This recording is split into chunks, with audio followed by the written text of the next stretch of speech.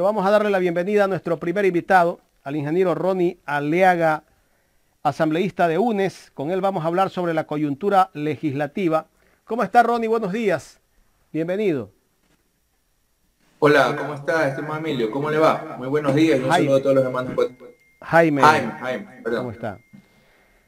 Ingeniero Aliaga, bueno, vamos a hablar de la coyuntura legislativa, pero sí me gustaría escuchar, escuchar su criterio sobre lo que ocurrió ayer en el Ministerio de Defensa, en el parqueadero del Ministerio de Defensa, donde ha llegado don NASA con fundas de, dinero, no sé si, si quiso adelantar la Navidad, regalarle dinero a los, a los miembros del ministerio o a quién, pero hasta el momento no hay una versión tan exacta de lo que ocurrió. Por ahí hay un comunicado, pero lo que nos llama la atención es cómo es que llega una persona a un complejo militar cuando en esos sitios por lo general hay una seguridad muy extrema. A ver, con la misma preocupación que usted tiene y que tienen miles de hermanos ecuatorianos, sobre todo los que fueron afectados por esta red que captaba dinero, eh, de cómo ingresan con tanta facilidad a una institución del Estado. Pero yo sí creería que es prudente esperar que hayan informes sobre esta situación. Tengo entendido que desde la Asamblea Nacional, desde la, Comisión de Justicia, se van a pedir las explicaciones y las comparecencias de los funcionarios eh, que tienen responsabilidad sobre el tema para que nos puedan explicar qué ocurrido en este en ese qué ocurrió en ese momento con este con esta presunta incursión dentro de las instalaciones del Ministerio de Defensa. Así que yo creo que sería lo prudente esperar que tengamos más información, porque la misma información que usted mencionó es la que yo tengo, pero al igual que usted preocupado de que una institución del Estado, sobre todo el Ministerio de Defensa, puedan ingresar con tanta facilidad personajes que son requeridos por la justicia. Correcto, vamos al tema legislativo. Ingeniero, ¿qué pasó ayer en la Asamblea, eh, justamente en, en la reunión del CAL? Allí salió, lo han expulsado al, señor Saquicela, al, segundo vice, al primer vicepresidente de la Asamblea Nacional, la bancada del BAN, porque tal vez no está cumpliendo órdenes o qué pasó ayer. Bueno, la sesión fue anteayer, fue el día miércoles.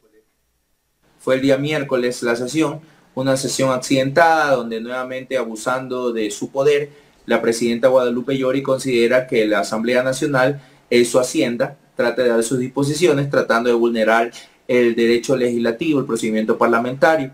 En ese sentido, eh, se produce una apelación de la presidencia luego de que es aprobado un cambio del orden del día, en el cual se disponía poner en conocimiento del Consejo de Administración Legislativa las tres denuncias que hay, una contra la presidenta Guadalupe Llori y dos contra los siete miembros del Consejo de Administración Legislativa para seguir con el tratamiento de lo que determina el procedimiento de la sustanciación de las denuncias eh, eh, expuestas en el artículo 166 en concordancia con el 18 de la Ley Orgánica de la Función Legislativa y también en base al pronunciamiento del procurador. Eh, luego de que es apelada la presidencia, se gana la apelación de la presidencia, pasa a presidir el vicepresidente Virgilio Saquicela y hubo un, un impasse, un exabrupto, creería yo, entre el presidente y el secretario, que no, creo que fue la mejor manera de expresarse por parte del vicepresidente, no lo justifico, pero en honor a la verdad, luego de que cortaron la transmisión de Facebook, él habló con el secretario y le pidió disculpas. Así que el comunicado de expulsión de la banca del Acuerdo Nacional, más allá de aquello que es la parte eh, personal, yo creería que, que no está bien orientado, pues habla de ilegalidad, de no respetar la democracia, de, eh, ilegitimidad, cuando es todo lo contrario, se, se, fue respetuoso a lo que decidió la mayoría del Consejo de Administración Legislativa. Lo que pasa es que ahora cuando existe una nueva mayoría, a ellos no les gusta y ahí es el problema. Tenemos que ser respetuosos de la democracia y nosotros seguiremos haciendo todo nuestro trabajo enmarcado en la, Constitución y en la ley. Eh, asambleísta Aleaga, ¿Por qué debe irse Guadalupe Llori de, la presidencia de la Asamblea? ¿Cuáles son las faltas a las cuales ha incurrido la señora Llori? Mire, el tema de las faltas, eso lo debe determinar la Comisión Pluripartidista DOC, yo le pudiera, le, le puedo hablar, para no anticipar criterios, le puedo hablar es de la vergüenza que nos hace pasar en medios nacionales una presidenta que no está preparada, que, no, que demuestra que no tiene la capacidad para dirigir la primera función del Estado, que es necesario para dar una entrevista, escribirse la polla en la mano, lo cual deja mal, planteada, mal planteados a los legisladores. La ciudadanía puede pensar que todos somos iguales y no es la realidad, que desconoce el procedimiento parlamentario, que no respeta la ley orgánica de la función legislativa, que ha puesto por encima de los intereses nacionales intereses muy particulares, que responde solamente a las disposiciones de Carondelet y que ha convertido a la Asamblea Nacional o quiere convertirla en su hacienda. ¿no? Con los funcionarios y todo y asambleístas incluidos. Y no lo vamos a permitir. Así que por eso ella no debería estar al frente de esta institución, que debería estar en, una sintonía de satisfacer las demandas ciudadanas, que debe, debe dar soluciones al ciudadano, que debemos eh, buscarle cómo generar mejores condiciones en el tema de salud, de educación, de seguridad ciudadana, de empleo. Lamentablemente eso no es parte de la agenda de la presidenta Yori, porque no es parte de la agenda del gobierno, ¿no? Quienes la respaldan y todavía la sostienen es el gobierno nacional. Por parte de la Asamblea, yo creo que la mayoría de las bancadas están de acuerdo en que esta verificación de incumplimientos a través de la Comisión Pluripartista debe darse lo más pronto posible y ahí veremos qué causales posibles eh, existieran de los muchos incumplimientos en los que ha incurrido la presidenta Yori. Usted es miembro del CAL y su partido también está pidiendo que sea evaluado. ¿Usted está de acuerdo con eso? Totalmente de acuerdo en que sea evaluada la gestión de Ronnie Aleaga en el Consejo de Administración Legislativa. Como siempre digo, el que nada debe, nada teme. Siempre eh, dentro de mi trabajo lo he hecho con frontalidad, con transparencia y siempre de la mano de lo que necesita el ciudadano. La postura de Ronnie Aleaga ha sido la postura de UNES dentro del Consejo de Administración Legislativa y fue pedido mío de que sea eh, iniciado un proceso de evaluación contra los siete miembros del Consejo de Administración Legislativa, además que he puesto mi cargo a disposición del Pleno de la Asamblea Nacional, porque fue el Pleno, con sus distintas bancadas legislativas, quienes dieron los votos para que yo pueda representarlos a través de la tercera vocalía del CAL. Así que yo no tengo ningún inconveniente, más vale estoy esperando la conformación de la, de la comisión pluripartidista, porque así como tienen que haber pruebas de cargo, yo tendré todo mi derecho de presentar mis descargos y con, como siempre digo, con la transparencia, con la honestidad que se ha trabajado siempre. Esas medidas cautelares que le dio un tribunal a la señora presidenta de la Asamblea, Guadalupe Llori, esto tal vez no nos da a entender que podría haber una intromisión de la justicia hacia el primer poder del Estado. A ver, por supuesto que sí y quisiera hacerle un, puede ser una reflexión. En el periodo pasado, el coordinador jurídico es quien ahora es el procurador jurídico de la Asamblea, el doctor Salazar. Hubo una situación similar cuando se debatía en el Pleno, el 10 de mayo, la destitución del ex legislador ahora, Fabricio Villamar.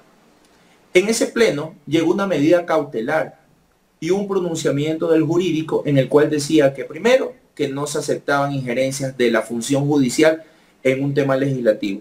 Y segundo, que además de aquello, no había sido notificado el Pleno de la Asamblea Nacional y que solo habían notificado al presidente y al Consejo de Administración Legislativo.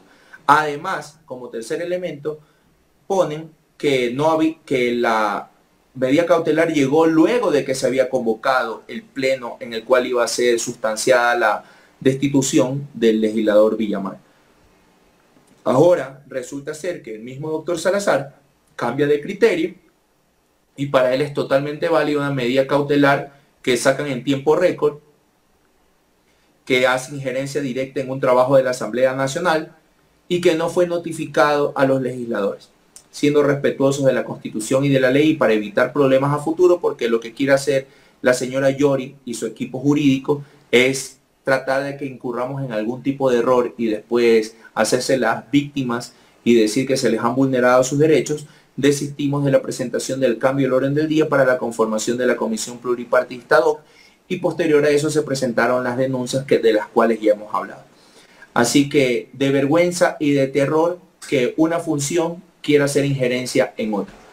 El legislador Ricardo Vanegas de la bancada de Pachacutic, bancada de la presidenta, ha solicitado la comparecencia de los jueces del tribunal que otorgaron las medidas cautelares y también de los miembros del Consejo Nacional de la Judicatura para que expliquen cómo así se meten en la función de la función legislativa y por qué en tiempo récord hicieron esa medida cautelar a favor de la presidenta Guadalupe Llori. Una medida mal presentada, con errores ortográficos que son de conocimiento público y que sobre todo el espíritu tenía mala intención. Así que rechazar categórica y contundentemente la judicialización de la política, yo creo que esos son los recursos de los mediocres cuando ya no tienen la fuerza de la votación, de la fuerza de la democracia dentro del Pleno de la Asamblea Nacional. ¿Por qué usted cree que la presidenta Yori se aferra al cargo? Imagino que debe tener sus intereses particulares por ahí. Ya el legislador Luis Almeida lo anunció públicamente decía que está en una investigación de quienes están financiando esta estrategia judicial de la presidenta Yori y que serían por mantener cargos en Petroecuador. ¿no? Eso lo ha denunciado el legislador Almeida. Esperemos que pronto tengamos más información por parte de este legislador y que se hagan las denuncias formales en las instituciones pertinentes. Pero también hay una denuncia que hizo el legislador eh, Bruno Segovia, donde eh, la propia presidenta Guadalupe Llori le ha dicho hace ocho meses que ella ha puesto hasta el último teniente político en Orellana. O sea, así es. E-, eso sorprende y que el gobierno no haya hecho nada. yo creo que son otros agravantes. Lamentablemente deberían actuar instituciones como la Fiscalía de oficio, porque es una declaración pública de un legislador, pero también el legislador debería eh, optar por llevar adelante una denuncia formal a través de los canales adecuados. ¿no? Yo creo que la primera función del Estado no merece toda esta deslegitimación por personas que no tienen la capacidad, que han demostrado incompetencia pura al frente de la primera función del Estado, pero que el ciudadano entienda que no todos son iguales o no todos somos iguales, que habemos legisladores que sí estamos trabajando por el bienestar de nuestra gente, que queremos devolverle esa legitimidad y confianza a la primera función del Estado, pero mientras sigue esta señora no se lo va a poder hacer. Así que yo creo que hay que seguir el, camino que ya hemos detallado en esta entrevista para que de ser encontrados los causales necesarios, la presidenta tenga que dar un paso al costado de su, de su espacio como presidenta de la Asamblea. ¿Cuánto tiempo hay que esperar todavía para ver el, para ver qué pasa con el futuro de la señora Yori? La comisión pluripartidista, que estará conformada por cinco miembros de la Asamblea Nacional, quizás representantes de cada una de las bancadas legislativas, sin perjuicio que alguna de aquellas no quiera participar en esta, en esta comisión, eh, tendrá un tiempo entre 27 y 45 días, que es el similar al tiempo de tratamiento de las denuncias dentro del Comité de Ética. Así que este sería el tiempo, los mínimos y los máximos que tendría esta comisión para poder operar y evidentemente sustanciar el proceso de la debida manera. Asambleísta Aliaga, eh, no se busca solo evaluar el CAL, me imagino, porque tal vez van a evaluar todas las comisiones eh, de la Asamblea. Totalmente de acuerdo, pero recuerda que la evaluación de las comisiones depende del Consejo de Administración Legislativa también, pero yo estaría de acuerdo que en el presunto escenario de que luego de conformarse la comisión pluripartista, existan incumplimientos por más de la mitad de los miembros del Consejo de Administración Legislativa, yo creo que debería reestructurarse todo el Consejo y también deberían evaluarse la reestructuración total de las comisiones de la Asamblea Nacional. Eh, ¿Qué hay de cierto que, bueno, el señor Villavicencio acusa a UNES que quiere, está detrás de la Comisión de Fiscalización y que quieren sacarlo? Mire, eso no es cierto. Lo que pasa es que, al igual que la presidenta Yori, otro personaje que demuestra desconocimiento total del procedimiento parlamentario, que yo creo que sus acciones cargadas de odio, de rencor, no lo dejan ver que con profesionalismo se puede llevar adelante un buen trabajo legislativo.